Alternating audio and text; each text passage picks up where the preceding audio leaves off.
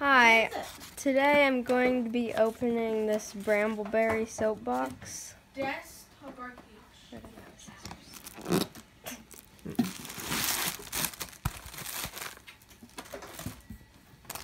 Okay, so first we have almond scent, warm vanilla sugar, oatmeal milk and honey, orange, and black raspberry.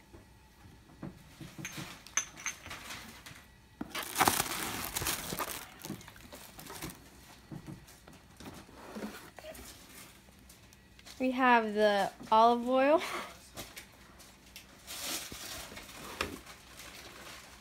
Um, more olive oil. And some apricot kernel oil. Okay, and then we have titanium dioxide Yay. and cocoa butter wafers. We have some safety goggles. We have our um, pouring cup, and you can use it to measure. I don't know how to pronounce this, but here's the lye. Sodium hydroxide. And then we've got a nice scraper.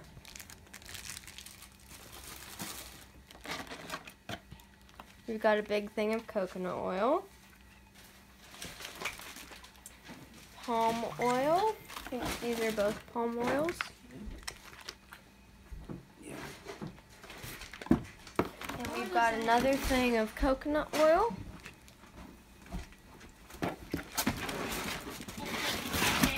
And on the bottom, we have lather quick mix.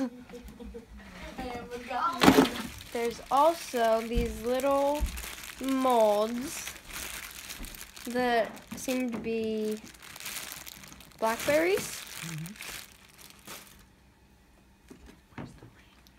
And then here's a tool to do the soap with. We have a sifter. And here's our micas. Looks like we've got orange, yellow, blue, purple, and pink.